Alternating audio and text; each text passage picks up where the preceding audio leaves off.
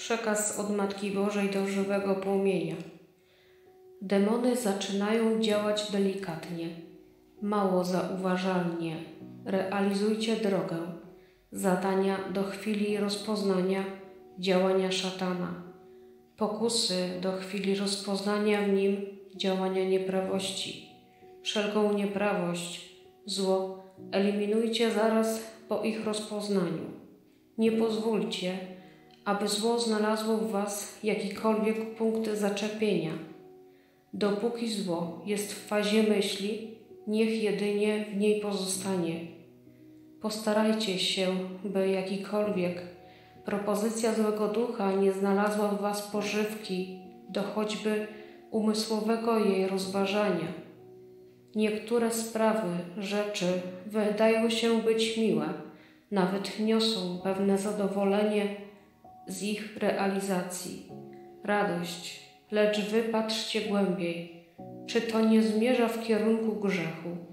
Jeżeli myśl lub propozycja jest czysta, nie wkracza na teren zakazu, nie jest przeciwko Bożemu prawu dekalogu, dopiero wówczas myśl możecie spokojnie rozwijać i ją kontynuować. Jeżeli myśl wykracza w jakikolwiek grzech, łamie prawo dekalogu w jakimkolwiek punkcie, wówczas wy macie obowiązek taką myśl zastopować i nie pozwolić się jej rozwijać.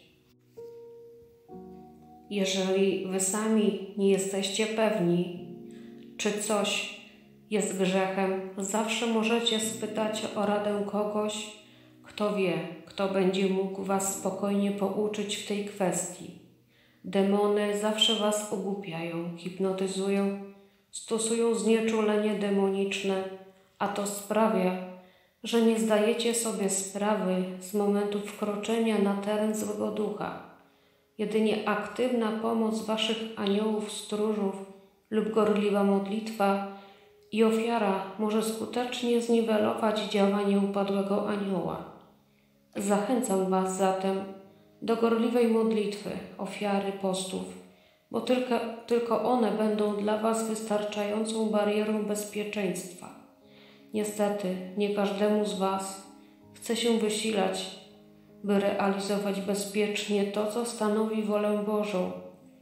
Ja zawsze Wam chętnie we wszystkim pomagam, lecz Wam nie zawsze chce się wysilać, by w praktyce realizować drogę i wolę Bożą. Nie zniechęcajcie się trudnościami, lecz pokonujcie je jedne po drugich. Szatan czyni, co tylko może i zdoła, aby mnie ośmieszyć, umniejszyć moje znaczenie i działanie mojej osoby w dziele ratowania zatwardziałych grzeszników. Mój słodki Jezus oddał mi świętego Jana za przybranego, duchowego syna a w Jego osobie powierzył mojej opiece cały Kościół Święty. Ja nie mogę nic nie robić, bo jest przecież wolą Trójcy Świętej, abym podjęła każde możliwe starania, aby wyrwać diabłu każdą najmniejszą duszę. Tylko od Was zależy, od wysiłku, który włożycie w dzieło swojego zbawienia, czy będziecie zbawieni, czy jednak wybierzecie drogę bez Boga? Nie myślcie, że jak ja żyłam, miałam wszystko łatwo i przyjemnie. Wiem, co to prawdziwa bieda, ubóstwo, czym jest ciężka praca. Nigdy nie wątpiłam, zawsze byłam pewna wiary, nadziei i miłości. Jezus zawsze dostarczał mi wiele, wiele radości i miłości. Był też czas, kiedy cierpieliśmy nędzę, głód, poniewierkę. Doświadczyłam wszystkiego oprócz grzechów. Znam każdą ludzką biedę, bo poznałam ją na własnej skórze. Nie obawiajcie się Boga, ani mnie. Módlcie się do mojej osoby. Proście dosłownie o wszystko, nawet o zdrowie intymne. Nie tylko kobiety, ale i mężczyźni. Proście mnie o potomstwo, bo z woli Bożej mogę pośredniczyć także w tych łaskach. Żyjąc na ziemi, modliłam się prawie nieustannie. Często lubiłam śpiewać i do dziś to lubię. Do wszystkiego, co czyniłam, zawsze wkładałam całe swoje serce. Dlatego Trójca Święta błogosławiła mojej pracy, mojemu wysiłkowi. Jeżeli chcecie mieć nieustanne Boże błogosławieństwo, to i wy czyńcie tak samo. Cokolwiek dobrego czynicie, zawsze do tego przykładajcie całe swoje serce. Jestem dobrą matką, dbam o moje dzieci, zwłaszcza te, które powierzają się mojej opiece i obronie. Walcząc ze wszystkimi swoimi grzechami i słabościami, sami niewiele wskuracie. Zawsze proście o pomoc Trójcę Świętą za moim pośrednictwem. Ja nigdy nie chcę Wam przeszkadzać. Na drodze zbawienia raczej staram się Wam pomagać, tak jak jestem w stanie. Nie pozwólcie diabłu, by Wam cokolwiek narzucał. On kusi Was do grzechu, do złego, daje Wam wiele swoich ponętnych propozycji. On zna zasady i mechanizmy, którymi rządzi się ludzkie ciało i wykorzystuje to przeciwko Wam. Chcąc pozostać neutralnym, musicie wyjałowić swój umysł, by o niczym nie myśleć, a przynajmniej nie rozważać tego, co jest grzechem. Demony będą Was kusić i wabić na różne sposoby.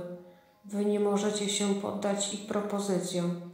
Musicie je natychmiast oddalać, zaraz po ich rozpoznaniu, zatrzymując się nad pokusą choćby na chwilę.